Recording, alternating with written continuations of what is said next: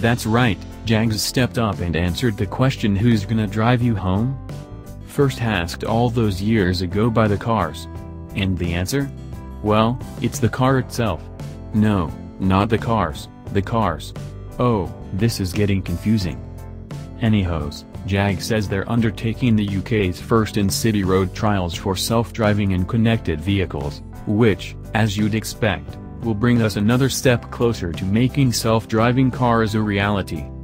No, not the part where the Fresh Prince shows off his vintage Converse, the bit where cars communicate with each other and act preemptively to unfolding situations, rather than reactively, using crowdsourced data from moving and stationary objects. We're in a bit of a strange period at the moment, where the technology is achingly close to readiness, yet public perception and government legislation aren't.